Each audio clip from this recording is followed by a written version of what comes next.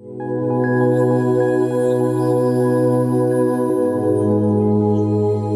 everybody. I am delighted to welcome Tyler Florence. It's lovely to have you here. So inspiring to share food with you at lunchtime and hear you talk about it. So, Thank you very much, Liv. I'm so happy to be here, guys. How you doing? Thank you. Thank you. I love how sensory the book is. The the photographs. They're just no clutter, just food. That is the the, the idea behind Fresh, um, which is just clean, simple, delicious recipes that are kind of innovative in a sense. And when you uh, take a look at recipes that are that are uh, so vibrant, right? Especially because we all live in California, so I think you guys will get it um, clearly that there's so much incredible flavor to be had, right? And nutrition behind that. So it's not about a bowl of salad, right? It's about creating uh, a spectrum of nutrients and taking those ingredients and then doing really crazy fun things with them. And that's what I like about food and that's what I like about cooking. And and that's what I wrote about in this book. And in fact, you know, people think there's a divide. There's healthy food and then there's gorgeous food. But in fact, what you're talking about, nutrient density, is flavor, right? That's what winemakers talk about. Um, I'm, a- I'm actually a winemaker as well. I, I've I've been making wine with Michael Mondavi uh, in Napa, and what we harvested this year is our fifth season. And um, it's you know it's really kind of paying attention to nature. It was, it was a fabulous harvest, by the way. 2011 was kind of a disaster just because it was so cold and foggy up in wine country. But this year, you know, it was sort of like classic storybook, kind of cartoonish uh, California summer. Just long, like lovely, you know, warm days, kind of cool, foggy nights, and and produced um, just a bumper crop of Sauv Blanc, of Pinot, of Zin, of Cab, and not just quantity but also quality. So it was, it was a really amazing season. And when we uh, when we blend um, when we blend the wine. Uh, and we've won 13 medals in three seasons out. So, and I, I, and I think our scores are speaking volumes of, of our, our passion for the product. So we don't have to scream so loud about it. And I, I really, really love what we're doing. And when we, you, you get a chance to, to kind of concentrate flavors and uh, take it from a very, very natural focus, right? So it's about taking the idea of a carrot if you guys got a chance to eat uh, in the cafeteria earlier, like like the, the idea of, of uh, um, albacore tuna um, with uh, confit carrots and the carrot puree on top of that, so you're taking the same ingredient and kind of using it in a couple different ways. So you're having lunch, but you're also eating a thousand milligrams of vitamin C. I think that's kind of interesting, right? Because that's what it should be. That's what food should be.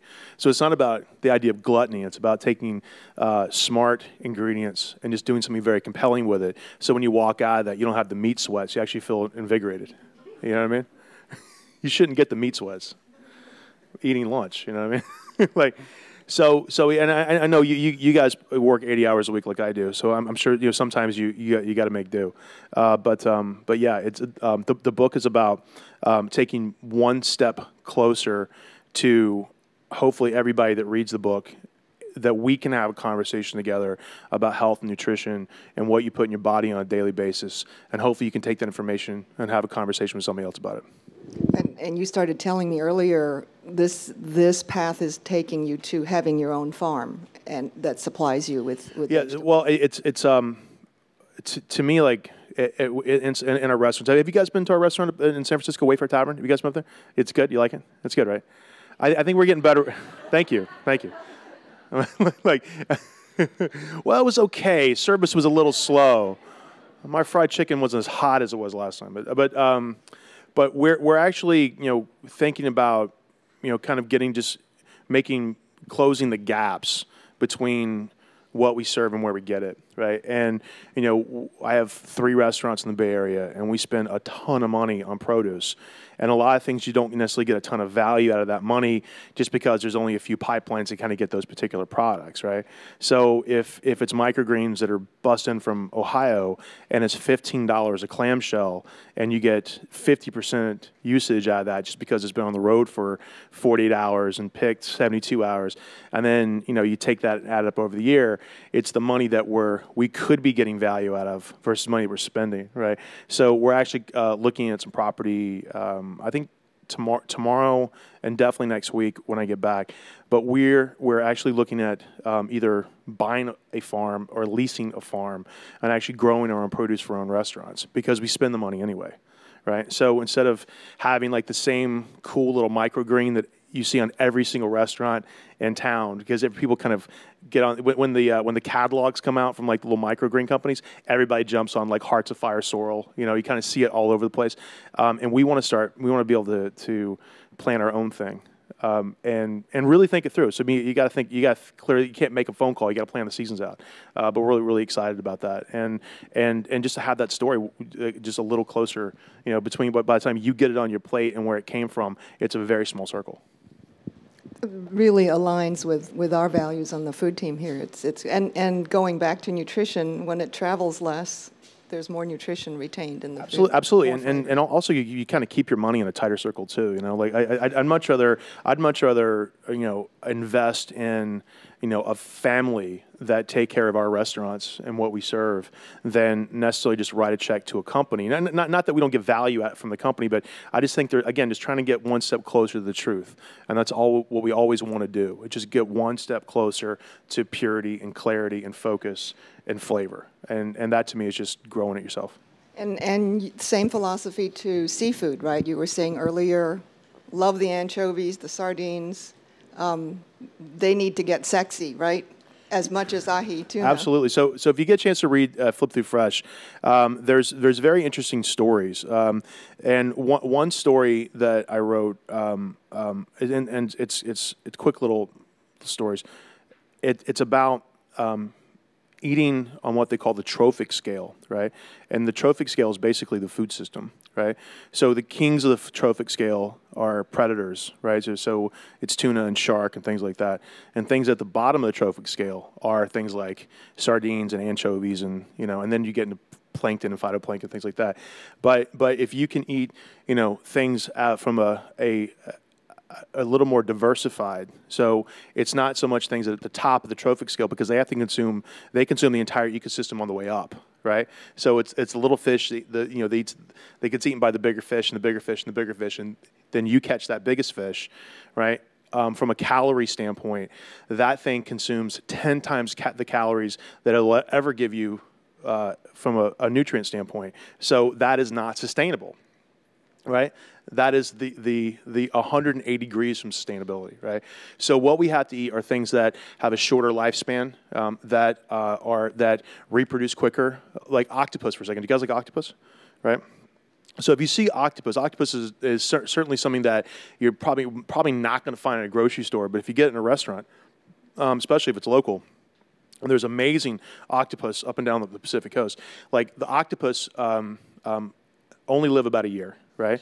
And they reproduce at six months, and they they they consume such um, a, a minute amount of the environment and the way they're fished with basically a bucket and a string, right? There's zero impact on anything, and they they have they're loaded with omega threes, right? And there's like virtually zero mercury, right? So so my point is, um, if you if you can eat, make a decision on uh, and make anchovy sexy, right, and make sardines sexy, right? Almost like a Mediterranean culture. Like every time I go to Greece or go to Spain, that's all we eat are like small oily fish, and I love it. It's so delicious, right? Um, you're actually doing uh, the environment a, a, gigantic favor because um, that product gets caught, right? And then uh, about 90% of it either goes, it gets turned into fish food that feeds farmed fish, right? Or it gets turned into bait to catch other fish, right? So we're just we're, we there are enough calories to feed the planet, hands down. We're just not using it in an efficient way. There's plenty of food, but we're just not using it. We're throwing most of it out. That saying, um, eating salmon is like eating tiger. I mean, it's that high on the food chain. Absolutely, yeah. It, it, really, it really, and and, and, and, and salmon, salmon is, um, and and, and oh, the, the, the, salmon to me is another thing which I think is really kind of fascinating because everybody sees like the the the demise of uh, the California salmon as something that's sort of a recent phenomenon, but there's been a steady decline since like the 1860s, You know, as as as populations moved west and started building whale towns up and down the Pacific Northwest, and then started building dams. Um, we've been killing salmon for, for a long time, and uh, and it, it, was it was a, you know a, a, vital resource that now is starting to affect a much much uh, deeper part of the ecosystem, and and that's what's called biomass. So when salmon you know do their last you know. Uh, val- most valuable thing on the planet that's reproduced, their bodies just die because it's the last thing they do. And as the carcasses start to, you know, fold into the soil, um, that that is the reason that sequoia trees are where they are. If you really think about it, right? Because they'll they'll swim up through uh, the um, intercoastal waterways and up through the estuaries, and when they die, they feed the trees, right? So the, the mighty redwoods of the Pacific Northwest and starting in California up to Oregon, um, that is that is there because the salmon population is there, and if, and if you start to take that away, you know what's the other side of it? Because there's not that much fuel for them necessarily to eat. It's a very interesting thing, and everything inside the book, I, I, I tell people all this all this all the time. It's very Googleable, right? so you, it's like it's all you can look up every single thing in the book and it's all the truth uh, and so, it, so it's not just about recipes, it's food, but it's also food for thought. And there's a lot of different things that you can do every single day with your wallet and your dollar because you're a lot more powerful than you think you are. Even with social media, because you can just got get, turn people on to very, very interesting things just by suggesting them, right?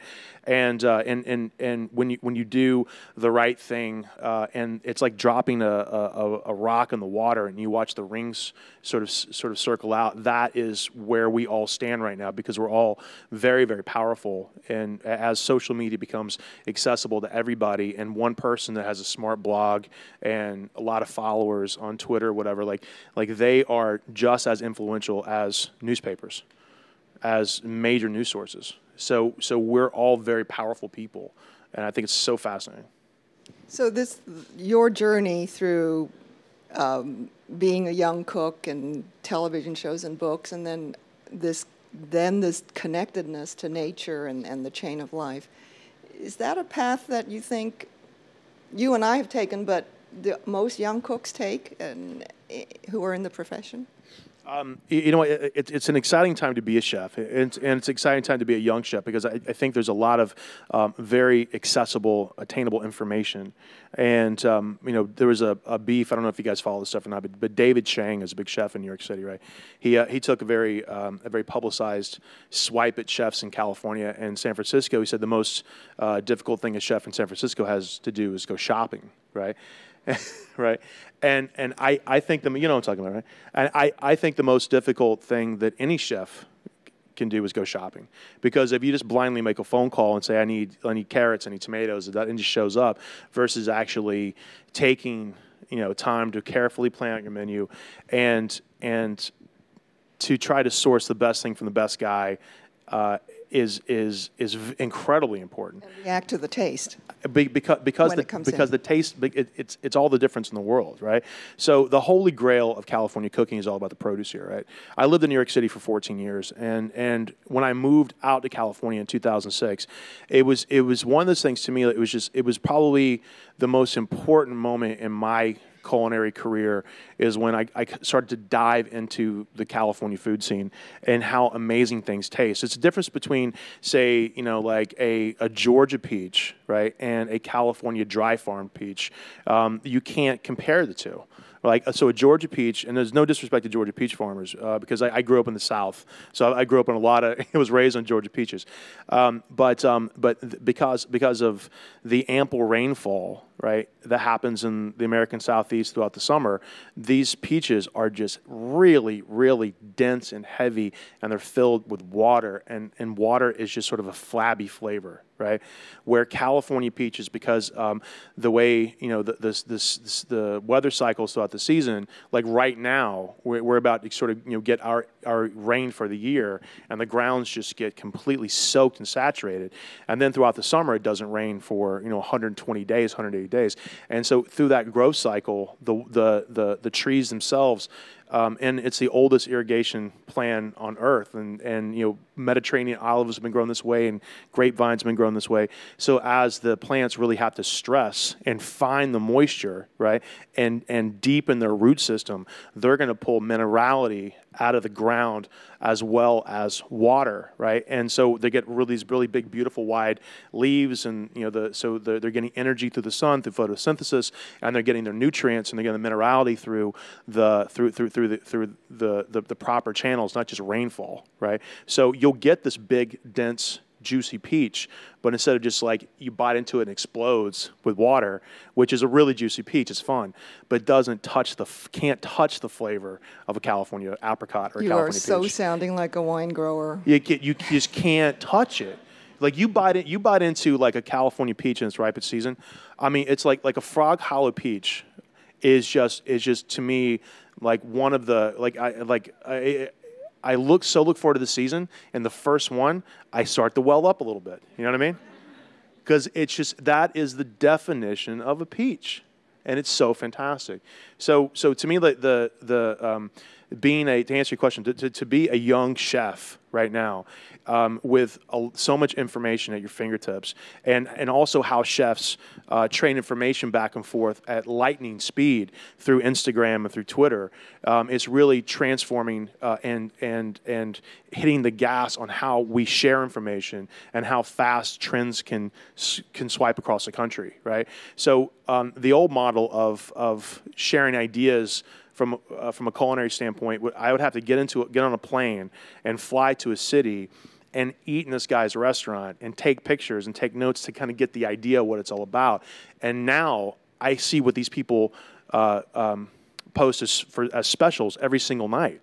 You know, so to me, like like I, I follow. If you guys follow me on Instagram and then kind of dig through who I follow, I follow some pretty interesting people and probably some chefs you haven't heard of yet but it, it is it's so um, inspiring to watch creativity just unfold at real time. And that and that's it's, it's a very interesting time to be a chef. Because because the curve is is it used to be a big curve. You know you had to like you know fill up your passport and travel and taste and i always recommend that because you can't replace that. You can't replace the authentic. Um, but you can certainly get a very very clear idea of what the authentic looks like right? Um, just by sharing images and video through social media. Wonderful. Really passionate stuff. Thank you. I love what I do. I really do. Um, change. I'm going to change um, directions a little bit. Um, you were in the studio 16 years ago with your first show, cooking um, with with real, real life people. Mm-hmm. Have we changed? Have, have, are we cooking less? I'm afraid to ask, or are, are we maybe cooking more be, because of social media because of um, the Food Network? I think um, so. I, started in 1996. I was a guest chef on a show uh, called In Food Today, and it was hosted by David Rosengarten. I don't know if you guys know who this guy is. He was he had a show called um, called Good Taste. I don't know. He wore he wore he, he was kind of kind of a nerdy guy. You know what I mean? I, I don't know if Dave was going to see this or not, but he, he I, I think he he could tell himself he's kind of a nerdy guy. But, but anyway, so so but he had, he, he wore a tie and he was very you know you know I'm talking about, David Rosengarten? Anyway, he hosted the show. So I was uh, I was 25 years old and I was executive chef of a restaurant called uh, Cibo, C-I-B-O, uh, in New York City, and uh, sort of on the on the cusps of Tudor City on 41st and 2nd. And um, it was it was Italian, but it was definitely sort of new American Italian. And um, one of the producers from Food Network stumbled into the restaurant, and, and I was out walking around saying hi to people and handed me their card and said, "Listen, call me. You know, um, we'd love to have you on this new cooking show because it was only in like New York and Chicago and Los Angeles, and it wasn't really coast to coast yet." And I hosted one show, and I, I mumbled and stuttered my way through four and a half minutes and I didn't know one person could sweat that much in four minutes, but apparently it's possible. And and uh, I thought I bombed it, but the executive producer walked down and said that was fantastic. Can you come back next week? So between '96 and '99, I hosted probably 50 or 60 different guest appearances, and I was almost on television every day anyway. And then they and then in 1999. Um, uh, probably when a lot of you were just starting college. Uh, I was I started I, I, hosted a show called um, Food 911 right? It's true. right. like, so I hosted a show called Food 911, and, uh, and, and it was a show where I traveled around the country and, um, um, and I helped people out with their everyday food emergencies. So you call 911, the cops show up, and you call Food 911, and I show up, right? And, and, and, and, we, and we shot that show for about five years, and we did, um, you know, we, I think we shot, you know, um, 150 episodes a year. I mean, it was just it was a super aggressive schedule. But but the what what I got a chance to do is really sort of down gear and downshift um, how I um, related to people because a lot of chefs are kind of like cops, right? They kind of speak this code and they kind of live this life that only other cops can understand. So you speak cop talk, and chefs kind of speak chef talk to each other, right? So I had to sort of like sh- shift gears, right, and and rethink how I approached cooking and how I approached the conversation of cooking of just really civilian, just real real life people who never went to culinary school, who don't know what the five mother sauces are, don't care what the five mother sauces are. They're never going to make a chicken stock from scratch. So so I had to sort of kind of like regroup, you know. So it wasn't so much about my idea of what their food was all about, but really just trying to fix their thing. And, you know, don't hit it hit it over their head just really kind of give them what they want. Like literally, like my tuna noodle casserole is terrible, and I'd walk into it, I'm like, you're kind of right. but let's fix your tuna noodle casserole because that's all she wants, right? So, so we just kind of went through the steps. Okay, here's how you can correct this. Here's how you can undercook this, but cook it correctly at the last minute. And and and we would take her her her recipe and fix it with her ingredients and her kitchen and her stuff, right? And and it was awesome. It was awesome because I got, and, and, then occasionally we did fun stuff like creme brulee, and we shot so many episodes, and it was it was the first chef, it was the first chef on the Food Network to not wear a chef coat, and uh, and it was a, it was the first show to go out of the studio, right? And and to me it was so it was so compelling because the the the sh- the sh- network was very chef driven, very New York City chef driven, right? And now the the uh, the conversation is completely wide open. And if you watch Food Network now, there's somebody on the network that speaks your language, right? And not every chef is for everybody, not every host is for everybody, um, but you're going to find somebody who's compelling on the network, and, and I, I think that's really spectacular. Um, and and recently, in you know, uh, two, two three years ago, uh, Food Network went through what I call cell division, where they split off between Food Network and now the Cooking Channel, and it's very similar to what happened with MTV when they realized, wow, you know, we could actually make a lot more money uh, by just playing the real world over and over and over again. And these, these music videos of what we used to do, we're going to put those over on MTV too. And, and so Food Network is, is now, you know, again, you're always kind of giving people what they want, and people really like to watch culinary competitions. So, so that's where, so once you get like past around 12 o'clock, you're going to see culinary competitions. You, there, there's going to be two people in a room cooking something, best man wins all day long, right? all day long uh, cupcakes, barbecue, you, you, name it. Um, and uh, and it, and it's a lot of fun. And so I, I host, now I host a show called uh, the Great Food Truck Race, uh, and uh, which which I think is a lot of fun uh, because it's a um, it is a it's a rock and roll business show. Um, Fortune magazine wrote an article on their online version, and and the, it, it, was entitled "The 10, um, 10 Things a Startup Can Learn from the Great Food Truck Race." It's all solid business practices. You know, it's all solid points and and that's what I really like about the show because we get a chance to hang out with uh, young, hungry entrepreneurs who really want to get into the restaurant business. And I'm in, I have sort of traditional models uh, in restaurants. I, I raised four million dollars. I went through two years of red tape and bureaucracy to get the restaurant open, and and with that, the statistics for failure are enormous. You know, nine out of ten restaurants will fail within the first year. That is a huge risk. But that one restaurant is going to be really, really great. So the bar has been dropped to a more approachable stance with great with food trucks because a guy with an idea, you know, I want to do creme brulee, I want to do tacos, I want to do crepes, I want to do grilled cheese sandwiches, I want to do burgers, I want to do Korean tacos, I want to do ribs, I want to do chicken wings. There's like it's the, the there's such a, a diverse menu, which is so interesting and, and, and every city in America is starting to really kind of develop a food truck culture. I think I had this, and I had this idea this season. This is why I really love this show, and I think it's very important because it's now the new answer to American fast food. It's the new answer to American fast food. It's six bucks. Where would you rather spend it, right? I mean, would you rather give it to the clown, or would you rather like give it to some like some local hardworking entrepreneur who just got the stuff at the farmer's market. You know it's organic. You're going to look him in the eye every day, and he's going to make you a fantastic meal. Uh, that, that's and, and, and when these trucks kind of get together at night, and that you know the thing called Off the Grid in San Francisco, which is awesome it creates its own festival. It makes its own gravy. And so that to me is, is really, really compelling. To get back to your, to your answer, like I think we're cooking a lot more than we used to cook. And I, and I, and I think we're on, the, we're on the dawn of enlightenment that we truly understand that we are what we eat. We're all machines. We're all animals. And we need high quality fuel to operate at a high level your brain has no clue what a calorie is. Your brain could care less what a calorie is. Your body is satiated by nutrients, not caloric intake. Your brain could care less. The higher quality food you put in your body, the less of it you're going to eat because your brain's going, cool, I'm good. I, am good. The, the meter is full, right? The poor quality food you're going to eat, the more of it you have to eat before your brain says you're full. You have to eat a lot of it before your brain says, cool, I've had enough, right? So, so we have been starving ourselves not from gluttony and eating, but from nutrients. We are starved from nutrients. We are eating such poor quality food, mass produced food, loaded with high fructose corn syrup that your, that your body cannot process. Your stomach can't process it. It gets processed in your liver as if it were alcohol. So you see adults with beer bellies and you see kids with soda bellies, right?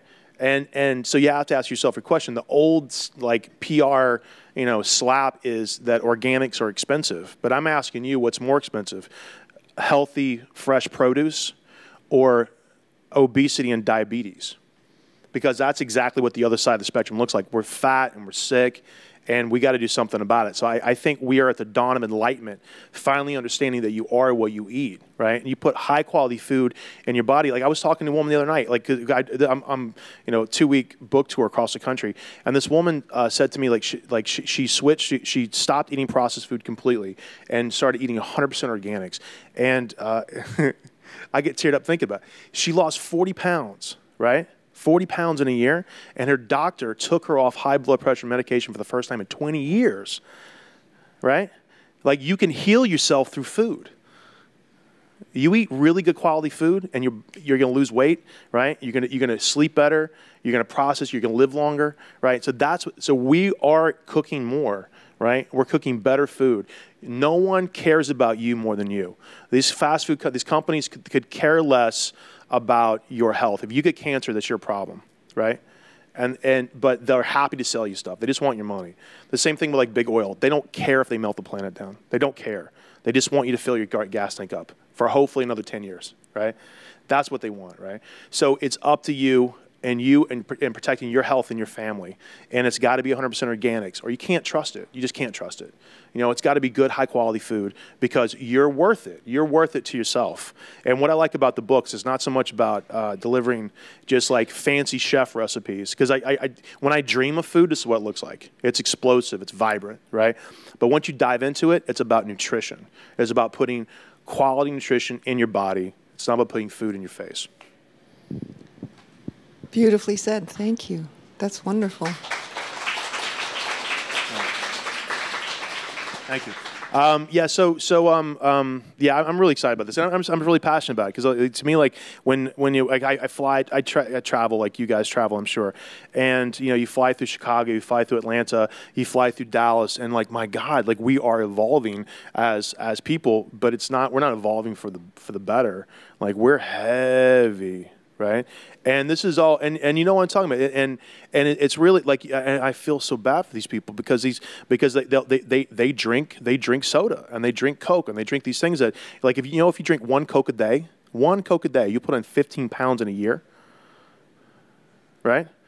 And also, high fructose corn syrup blocks a blocks a hormone in your body called leptin, right? And and it it it blocks the signal that tells that your where your brain tells you that you're full, right? I mean, this is how food is manipulated. I want you to drink more of it. I'm going to put salt in it. I'm going to I'm going to I'm going to I'm going to create a chemical that's going to shut your brain off from telling you you've had enough, and I'm going to make it salty. I'm going to make you drink a lot of it. Awesome. And and it's going to cost me 10 cents for every 16 ounces to make. I'm going to sell it to you for six bucks. That's a margin. Right? And a can of Coke is about two cases of broccoli, and you eat one tenth of that case, and you're completely full. You're completely full. So, and, and, th- and this is my point. It's so so so it, it's about it's about making a decision that you're going to put fresh food first in your life, right? It's about making that clear, honest decision that healthy is the way to go, right? I want you to think about that, and I want you to have a conversation with somebody else in your life, right? Because we all know somebody that probably needs to have that conversation with, right? And then do something about it, right? You know, it, it's like it's like when when people when people um, um, we've all been convinced that we don't know how to feed ourselves anymore, right? We've all been convinced. But I, I, I think this generation, like us, right, I think we know better.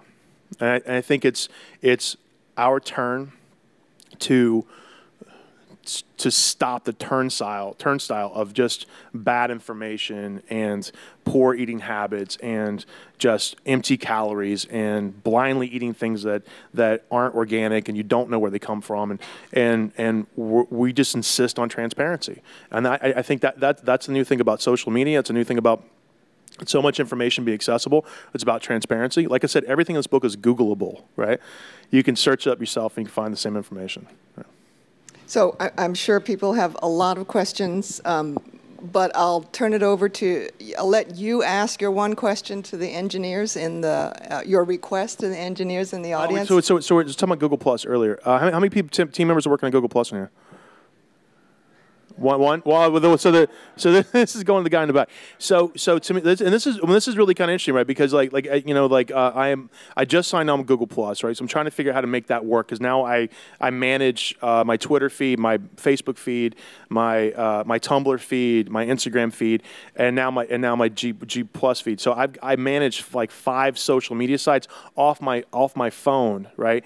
And it's it's kind of clumsy right? So to me, like I, I, I, think instead of trying to get into that bloody pool of sharks to compete with that social thing, you should create create a platform that exists at 10,000 feet so people can manage everything else below them right? So, so that that to me is probably the smartest position that you guys can take instead of just trying to trying to think through. Okay, how can I get another group of people that want to go after fans and likers and that kind of stuff? Because I mean, it just after a while, it's like I don't I don't really you know you kind of put things in priority. My my Twitter account, I have a half a million people following me on Twitter.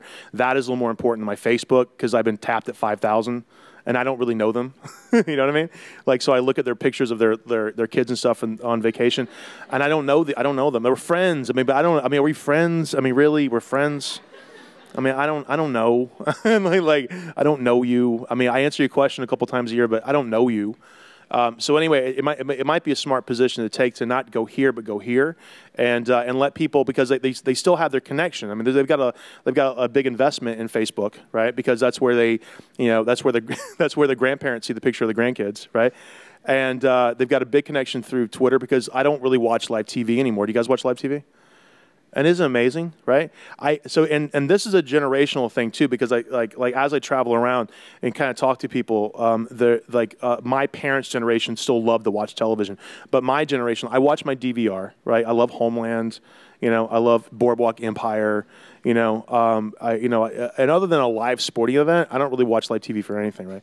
So, so it's it's about it's about how I I extract information out of the world. I don't turn the television on to get news anymore. I just stroll. I go through my my Twitter feed, and it's got national news, it's got local news, it's got traffic news, it's got weather news, it's got you know people I follow like Drunk Hulk. I think I don't know if you guys follow him.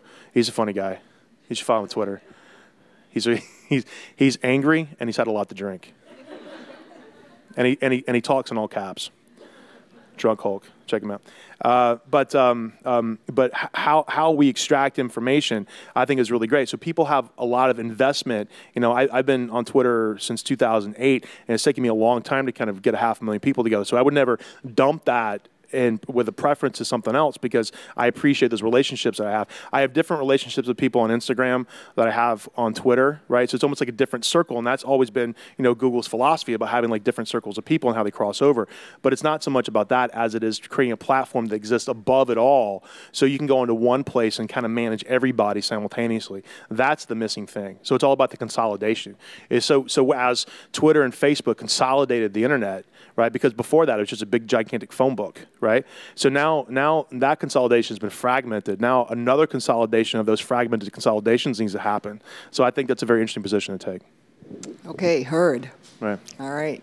Um, there's a mic over here if you have questions for Tyler. You're a person of a lot of power, right? With the skills that you have, the platform that you have, and the connections that you have. And you'd also talk about wanting to create something sustainable and, um, you know, being able to kind of restore this world to the way it used to be, or to good.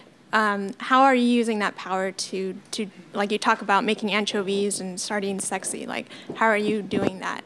Um, you, you, know what? To me, like what, what I'm doing, uh, you and I are having a conversation right now. So that's what I'm doing something about it. Um, I wrote a book uh, called Tyler Florence Fresh, and, and I, I, think I think there's so much great information. I'm, I'm gonna say you asked me what I'm doing about it. I'm like I'm writing a book, and it's not so much about the book because honestly, like like as far as what I do to make money, I don't make any money writing books, but but but I, I do think it's a it's a really powerful way for us to have a conversation. There's a chapter on anchovies. Yeah, a whole. That's what I'm saying. I can I can read from the book if you would like. and then one last quick question: sure. Where does the chicken from Wayfare Tavern come from? Where's it for the chicken? Yeah. Uh, it comes from Mary's Farm. It's organic, air dried, air chilled chicken uh, from Petaluma. Uh, it's fabulous stuff. We we actually buy so much chicken that we dictate their feed, right? And it's really really delicious stuff. Great. Thanks. Yeah, problem. Hey Tyler, uh, my name is Derek, and everybody say hi to Derek. I've always been a fan of uh, Tyler's Ultimate, so uh, I still have the spaghetti meatballs recipe in my head. Beef, you know, veal and pork. Just well, thank kudos. you so much. Thank you so much, man. I appreciate yeah. that. Um, so uh, one, one, one quick question, and then just one really quick question. Um, you've always like, obviously been very successful. You've you know done a lot of TV shows, done a lot of restaurants, done your own stores. Uh, just so, just for a takeaway for us as you know, we're engineers or people working at Google. What's one kind of trait or quality that you've really discovered going through all this that's really key to kind of uh, being successful as a leader, being successful as uh, a colleague, a coworker, and as a peer to to you know people you work with every day. I'm just curious, kind of what's what's the kind of one thing that sticks with you. Um, and I think I, I think you got to be honest. I think you got to you got to be honest. I think yeah. you got to say the right thing. I think you got to listen to people, I, and I, I, think you got to tell people the truth. I think you got to be honest. I, I, think that that is uh, to me like like when we make our when we make our wine, I want to make a very honest, pure product. When people come in our restaurants, like I want to have a very authentic experience. When I write my book, I want to tell you like from my perspective what I think is is just the best easiest, quickest, cleanest, clearest, most delicious thing you can make. And and and I, I think you got to be able to you know talk to people and answer them and give them very honest answers. You know, and I think you got to be. I think that's the most important thing ever is honesty and transparency. Awesome. Um, and a quick question. I know you probably get asked this a lot, but I've heard it asked to other chefs. Uh, last meal you could ever have. Um, you know, you're going to be off this planet tomorrow. Yeah, right. You have one option. what is it? So, um, so I, I, you know, the, it's all about the pendulum swing. You understand this, right? So, if you like chocolate, you have to like running shoes. You say you have to, right? And and to me, like I, I think the I, I think the last thing I taste, I really wanted to be the first thing I ever tasted, right? And to me, like the the rootsy, authentic American cooking from the American South, the heritage cooking, right, is probably the last thing I want to taste. So it's somewhere between like fried chicken and collard greens and barbecue and grits. Awesome. Maybe one plate of that. I think that I would be very very happy. Thank you. Of course. Hi, Tyler. Thanks Hi. for coming to talk to us. Yeah, of course. What, what's your name? Uh, Phil. Everybody say hi to Phil. Hi. Um, so you seem pretty positive about um, food trucks and food truck culture, and you know that's something I agree with. So, do you think um, like we have enough food trucks? You mentioned that they're like a viable alternative to fast food. The, the, uh, have we had enough food trucks? Do we have enough? Are do we have enough, enough food trucks serving San Francisco and serving I, you know, I, I, don't, I don't, I don't know, I don't know where the ceiling is for that as a business model, um, but um, it, it's very compelling, and and um, so the great food truck race, we didn't invent food trucks, but we've gassed the industry so much that we've created uh, two separate fires, if you will. We've created a show that shows how doable it is. Not saying it's easy, but how doable it is from an operation standpoint that I, you can own a food truck, right?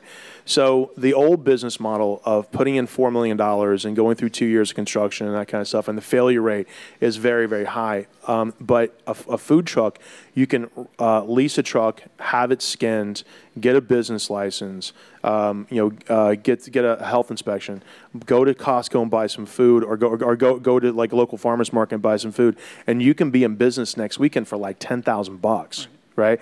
So that's about lowering the bar, right, and make it more accessible to everybody. On the other fire that we created is really about creating a fan base for the for the genre. So when we shot season one of the Great Food Truck Race, um, we nobody knew what the show was all about, right? So we would drive through these like little towns in Tennessee, and they're like, "Food trucks? What's a food truck?" Right? But now we're into season three, and we're at pre-production for season four right now.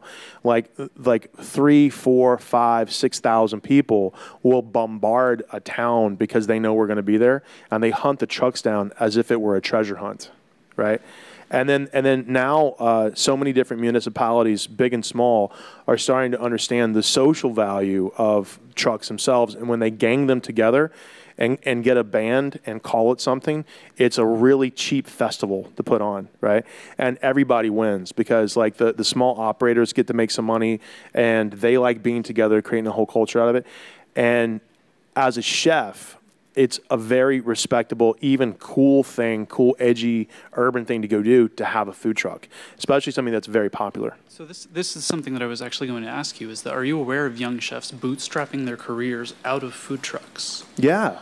So this is happening. This is great. Yeah. So so yeah, absolutely. They're, they're, and and people are sort of instead of creating a brick and mortar business, they're creating a food truck business and backing that into a brick and mortar business. So you're actually kind of testing the business model and on, on a very micro level where nobody can get hurt, right? I mean, if, if you lose 10,000 bucks of your aunt's money, I mean, she may hate you at Christmas, but she's not going to hate you forever, right?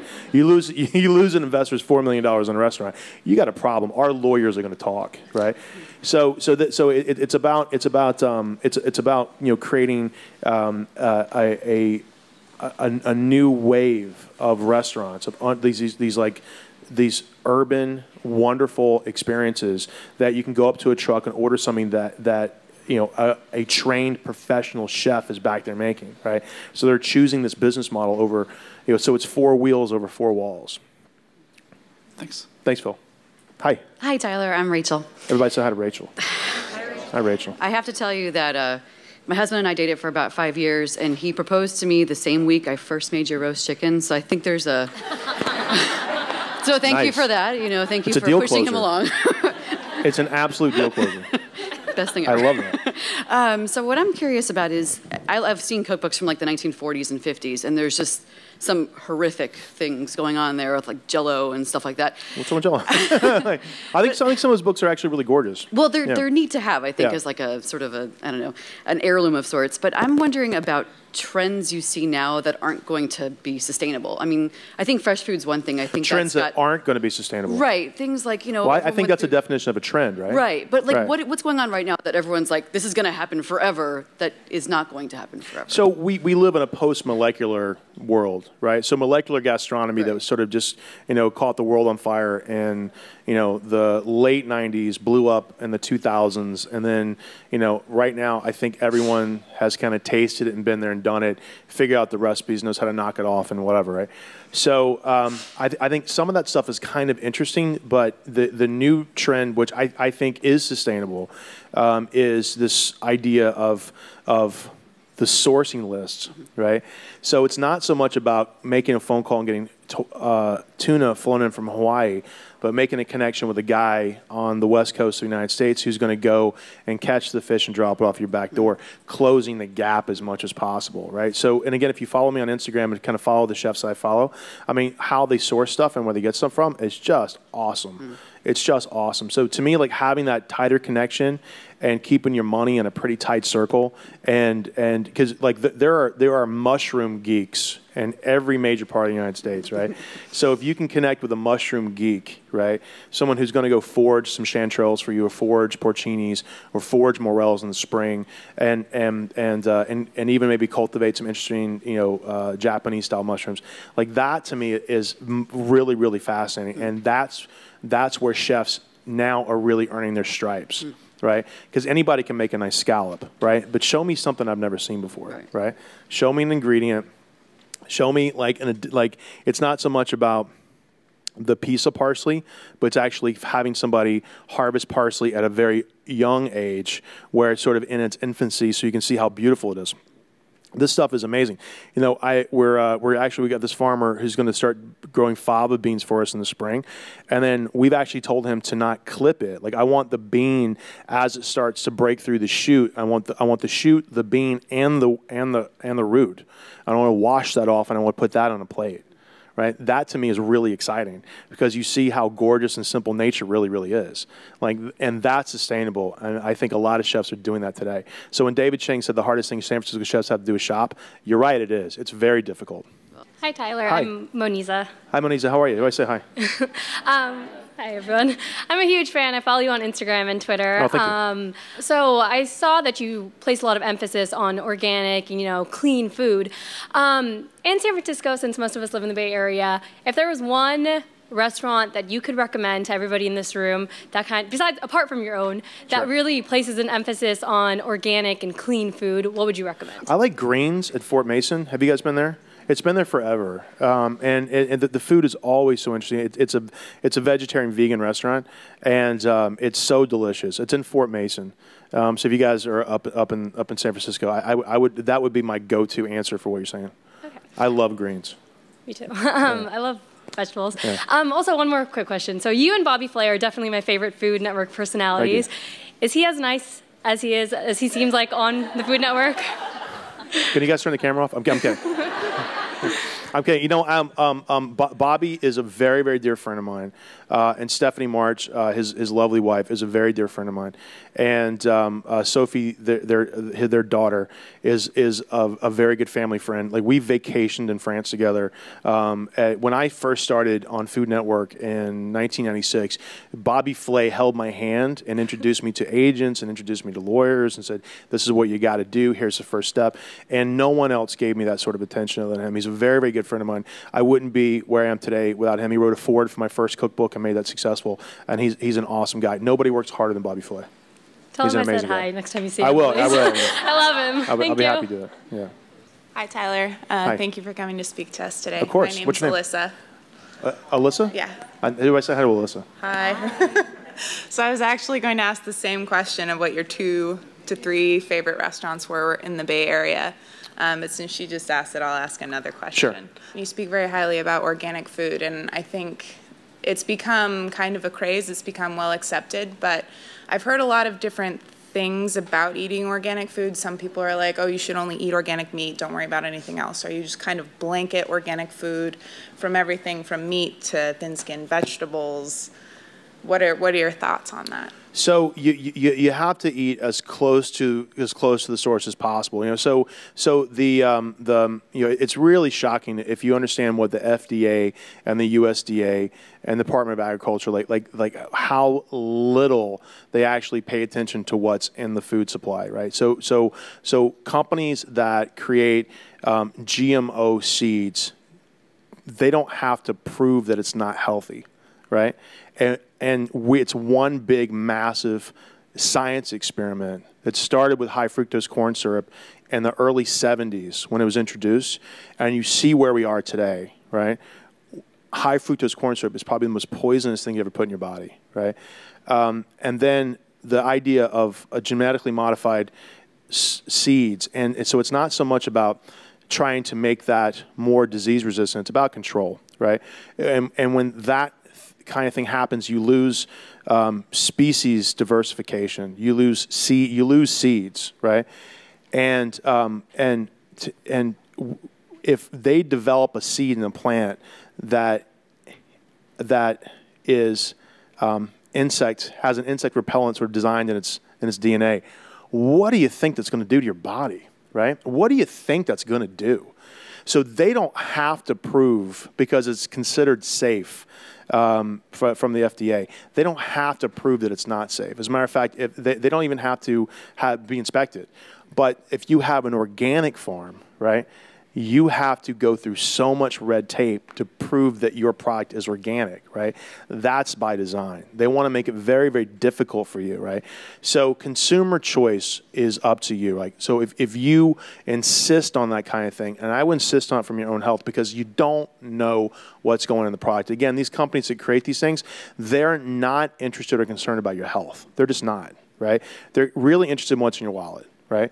And if you get cancer, it's your problem right? But but we are a very very hardy lot. We've been around since the dawn of time. We've been eating food for a long time. And these health concerns are only 30, 40 years old. I'm not saying that that um, genetics doesn't have something to do with it, but as sick and as obese that as we are as a nation, right? Um, it's all diet related. So if if so, my question to you is, if it's not organic, can you trust what it is, right? Now, it, like th- uh, there's a lot of farmers at the farmers market that produce organic goods, but that are in the process of becoming certified organic, and that's just as good, right? There's a lot of things you really got to think about. Um, so economic recovery starts in your very own community, right? So you got to keep your money tight, right? You can't take your money, spend it, and have that source drip to, to be funneled outside of your community. You have to keep your money in a very, very tight circle, right? So if you buy your goods from a guy who just grew it not too far from here, you're helping the economy grow, right? You really, really are. Uh, and and so th- that to me is what I would recommend. So so you you know to we can we can talk all day about you know the health qualities of, of not just eating organic beef but drinking grass-fed milk, organic milk as well. Um, you know the the there's the French paradox, which is really interesting about how you know people in France like eat a very high-fat diet, but they have um, such a low cholesterol rate and such a low rate of heart disease. Way they eat way more fat than we do, but they're what what they eat is purer than what we eat, right? And they eat a lot of um, uh, probiotic-rich foods like you know, whole whole milk cheese that is that has all the all the um, molecules um, and really kind of good healthy bacteria that kind of keep your digestion system nice and clean. So you got to eat pure, clean food right? It's not hard. This is what I'm saying. Like we've all sort of like, you know, what's the big direction? What's the new diet? Is it Atkins, paleo? Paleo is actually really kind of interesting, I think. But but it's the, it, you you just got to eat good, wholesome, healthy food. It's simple. Just eat clean, fresh, healthy food. Thank So, you. Thank you. And I have one recipe request. Sure. Yeah, go on. If I could find it anywhere. Do you have the recipe for the popovers you make at Wayfare Tavern? Not healthy at all, but so delicious. well, you know, well, you- well, it's it's like it's it's um it, it, it's actually like it, like to me like um it's um it's actually because it's a big puff of air, right? you know what I mean? I haven't like weighed out from a calorie standpoint like what's the difference between our popovers um, versus you know whatever I don't know focaccia or something, right? But um, it's basically just a big crusty ball of air. Right. Well, it's delicious. So yeah, it's like the webby, air. the webby, crusty stuff is actually really beautiful. And the air doesn't have any calories. There's no calories in air. It was something really funny. because We, we, we, I, went, uh, I went with my wife and a very good couple friend of ours to El Bulli and Roses, Spain last year before they closed. And, and, and like, it was a very expensive dinner. It was like 4,000 bucks a couple, right? Very expensive dinner, right? And, but one of those things you, you have to go do uh, because now it's closed and I can say I did it and that kind of thing. Um, regret is more, I think, is more expensive. but everything was just jacked up with air from, from, a, from, a, from a method standpoint, right? So everything was just spongy and light and air, like, like effervescent. And like, I'm like, wow, this guy's food cost must be awesome. Because everything, it's like, instead of like putting it on the plate, he'll puree it, whip it with air, and put a spoon of that on the plate. I'm like, that's how you, that's how you get good food costs, man. Good tip. Light Thank you. clear. Anyway, so so to answer your question, so so um, um, the book I wrote before this is called Family Meal, and the recipe for our popovers are in that book. Awesome. I'm gonna run welcome. out and get it. Thank you. Thanks so much. My name's Annie, by the way. Hi Annie, how are you? Um, so I, I try to cook a lot at home, and I know you put an emphasis on organic, healthy, clean food. And um, I was wondering if you have any advice on where to shop. Um, you know, I try to go to the farmers market on the weekends, but that's not always available during the weekdays. Right. Um, so, like, is Whole Foods the best place to shop? I think I think Whole Foods is fabulous. I I, I just uh, I was just in Austin, so I I, I bumped into um, one of the um, media relations people with Whole Foods in Austin, and um, and I I you know I just, I love their philosophy. Like not only do I buy food there, but I buy all my vitamin supplements and stuff like that. So a big portion of my refrigerator is just filled with like, you know, vitamins and super green food and things like that. So I can, can like really carefully monitor my nutrition intake and um, um, every piece of food in this book was purchased at Whole Foods. Oh. Every every every bit of it. I bought everything at Whole Foods like for like seven o'clock in the morning. You know, went home, prepped for about two hours, three hours, and then we started shooting for the rest of the day. So, so I, I I like them a lot. I mean, I, I don't work for them or anything, but I I, just, I dig what they talk about. Right, because you also mentioned, you know, buying within your area, buying local, but that's not always possible. So Foods would be. I, I, I, do. I do think it's possible. I, I, do think it's possible. So, so, so let's talk about a ceremony, right? So, so um, there's usually a farmers market. There's, there's got to be a farmers market down there, right? There's got to be, right? So, so um, um, on the on the weekend, you have to kind of get into a, a, mode of like having a ceremony, right? Like a thing that you do all the time that you really like a lot. That you kind of feel like that's your church or whatever. That that's your thing that you go do just to have a uh, uh, you know an hour or two. That's a, a great head cleaner right? And I think strolling around the farmers market is fantastic. It's it's great.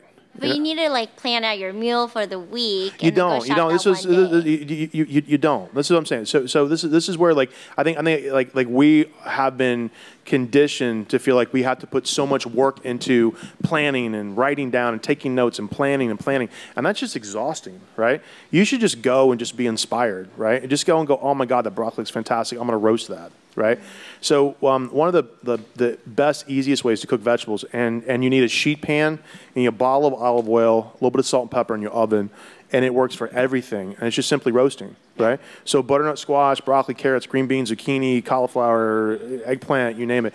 Like if you cut it into consistent sizes and you put it into a sheet pan, a little bit of olive oil, salt, and pepper in the oven, 350 degrees for 10 or 15 minutes, and it transforms the starches into sugars. And my kids love it. They'll eat anything if it's roasted, right? They love roasted carrots. They love roasted Brussels sprouts, right? And so boiled is kind of tragic, but so anyway, you can, and it works with like big leafy greens too. I mean, you can you can roast like kale. make kale chips, and that's delicious as a snack. So. So you don't have to don't plan so much because it just people like it makes people panicky when they got I got to plan. What am I going to plan? You should plan a dinner party, right? You should plan the holidays, right? But if it's just like you're just cooking Monday through Friday, just go to the store just see what's going on. And, that, and then you're going to come back with more inspiration than you walked in with from a planning standpoint. Just, just go check it out. Thank you. And you yeah, have yeah. been inspiring. Thank you so much. Liv, thank you very much. Google, thank you very much. Thank you. I'm so, thank you.